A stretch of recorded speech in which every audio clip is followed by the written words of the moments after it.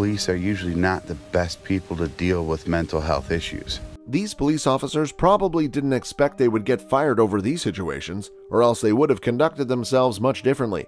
Well, you can't change the past. Here are the top police officers that got fired after these situations went terribly wrong. Number 5. Police chief gets taught a lesson. The Corunna City Council voted 6 0 to fire police chief Nick Chiros after a video was posted online that showed Chiros verbally berating and then arresting Matthew Wrosch for video recording an allegedly depressed man who climbed a utility tower near the Mitchell Field Park. Chiros, 66 years old, became chief after Kim Williams retired in 2015. He himself originally joined the department in 2005. Wrosch is a citizen journalist who was responding to a police scanner message that a man was threatening attacking self from the top of a transmission tower. Police were called to help deal with a man threatening to jump from a tower. Wrosch also went to the scene. He says he was live streaming the situation to make sure police were following the law. Further explaining his conduct, Wrosch said, I zoomed in all the way on my camera and I could barely see the guy on the tower, and it was a little speck. It wasn't about catching him, it was about the police response. In the video, you can hear two MSP troopers ask Wrosch to move further back. He does. Soon after, the police chief, Chiros, tells him to leave the scene. Wrosch refuses and tells him his right to be there is protected under the First Amendment. Wrosch said, I was not about to leave. I was there to protect the guy in the tower. Chiros is firm in requesting that Wrosch leave while the officers on the scene are negotiating with the person in the tower. Chiros continues to threaten arrest in the video.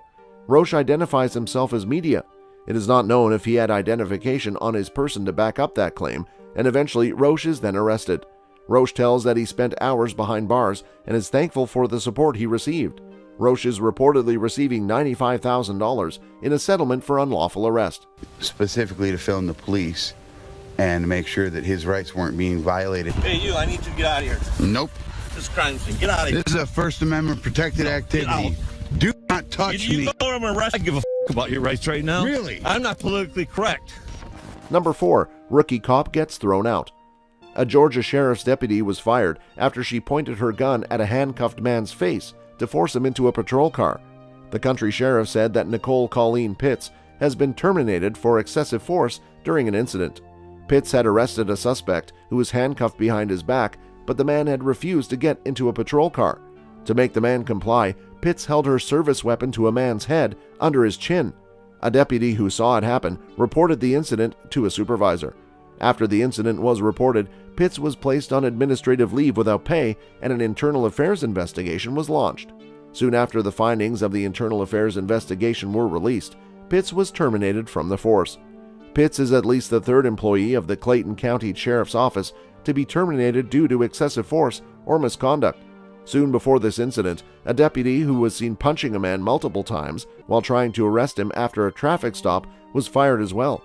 Police brutality incidents such as this now gain more media attention than ever before and are taken more seriously as a result as well, making sure these police officers are held accountable for their actions.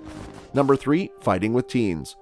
A police officer in Social Circle, Georgia, was fired after urging a teenager to fight him during a traffic stop, as seen in a dashcam video. Records show that in 2014, the same officer was disciplined for allegedly threatening to blow up a high school. James Sanders was relieved of duty after footage emerged of the traffic stop, as confirmed by the town's police chief. In the video, Sanders, an eight year veteran of the force, can be heard delivering a profane tirade to a teenager after someone in the young man's vehicle allegedly yelled, F the police. Sanders appears to follow the teenager's vehicle after hearing the derogatory remark as he participated in another traffic stop. Sanders claims that he pulled the teens over for failure to maintain their lane, but video taken from his vehicle shows that it was only after Sanders sped up behind the teen's vehicle that the teen's car touched the white line. Once the teens are out of their vehicle, Sanders can be heard threatening to jail them and search them for marijuana. He says to the teenagers, If you want to F the police, I'm right here, and I'm giving you every opportunity to F me up. Come on. An anonymous caller alerted the town's police chief to Sanders' behavior. This is not the first time Sanders has behaved in a questionable manner. In 2014, he was written up after allegedly threatening to send anthrax to the staff of a local high school, use a taser on a school administrator, and blow up their building. He allegedly made these threats after the Social Circle High School staff expressed dissatisfaction with Sanders' paid security service during a football game. Sanders was subsequently transferred to the evening shift to minimize his contact with the school and was prohibited from setting foot on the school's campus unless there was an emergency situation. Well, now there's no problem at all because Sanders will not be rejoining the police department anytime soon. Castle, I got pulled over? Yeah, I'll be glad to tell you in just one second. I'm gonna ask you one time. Yes, sir. All right. If you don't, we're gonna go another route with it. Who yelled out of your jeep when you went by us? Hey, Look at me when you talk to me, son. Who you gonna yell at? What'd you say? Brandon Hughes. I know who you are. F the police. I'm sorry. You're sorry. Get your hands out of your pockets. Why you want to say that to the police? No, it's a little bit more than being stupid, is what I think. I didn't know y'all could be so goddamn stupid anymore. Everybody get out of the jeep. Number 2. Police brutality gets avenged. South Carolina police officer David Lance Dukes was fired and facing criminal charges after he stomped on the head of a physically disabled black man. The 38 year old was charged with first degree hitting and battery and was booked into the Orangeburg County Detention Center and later released on $10,000 bond. If convicted, Dukes would face 10 years in prison. Body worn cameras recorded the violent incident as Dukes and other officers went to the Colleton Village townhomes to investigate a 911 call about a man with a gun.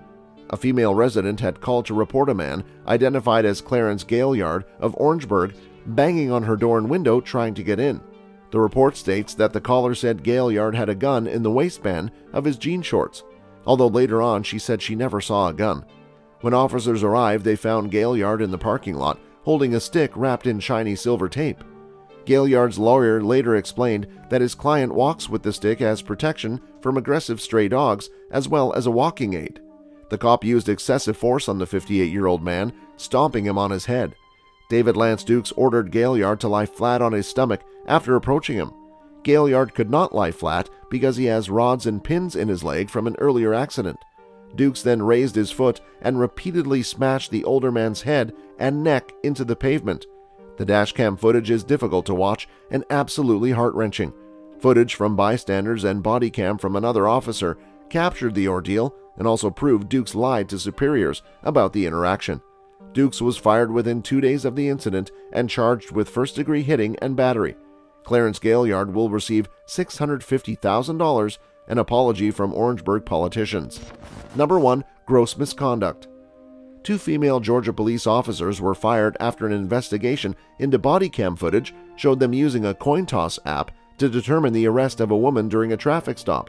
In their termination letter, the police chief stated that the officers had, quote, engaged in conduct on or off duty which adversely affects the efficiency of the department and has a tendency to destroy public respect for the employee or the department. The victim, Sarah Webb, said she was driving fast because she was late for her job at a hair salon and was arrested on charges of speeding, reckless driving, and driving too fast for conditions, according to the police record. In the video, Brown and Wilson are heard discussing what they should do with Webb, and then Brown says that she doesn't have speed detection equipment, and Wilson says she doesn't have any tickets.